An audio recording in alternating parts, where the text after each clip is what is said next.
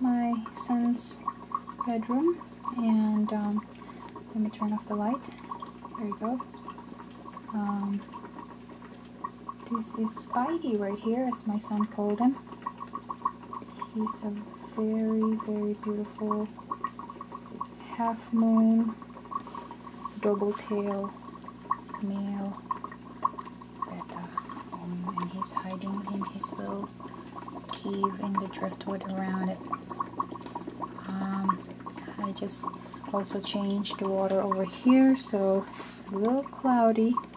Um, what I'm happy about in this tank is um, I started seeing growth back in my crypts which um, I was really worried about before because every leaf was melting and now I can see new shoots um, in all of them. So I'm really happy with that and um, my Java moss also is very healthy in this one.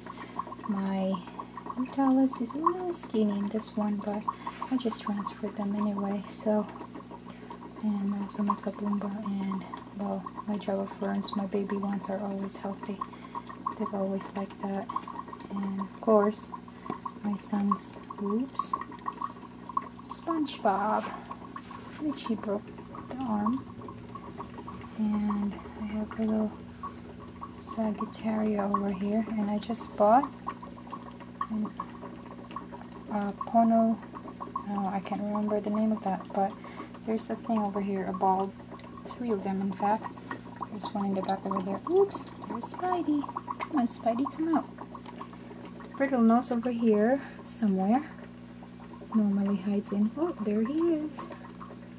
Hiding behind the filter.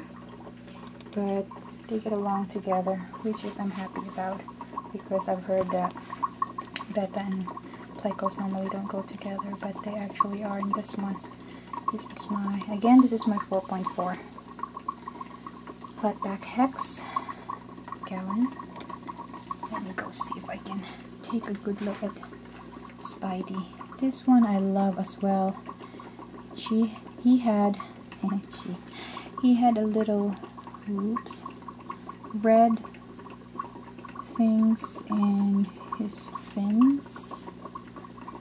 And his body is a combination of blue blue green green a little black and then red. She's really beautiful in person. And it always glitters when he goes in the light.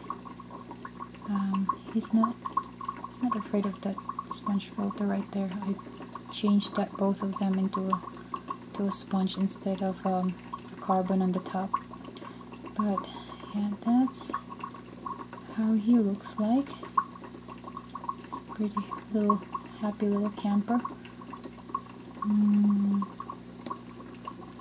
He loves to eat, which I'm happy. So this is not quite a jungle over here, but I'm happy he has more room to to roam around so um, so this is it for now here. I'm trying to, I'm trying to um, put another filter in here but for now I think this one's is suitable still so um, I'm thinking of getting the Vogel one the in filter um, which is I heard a lot of good reviews about that okay I'll go on my 5 gallon now. Bye bye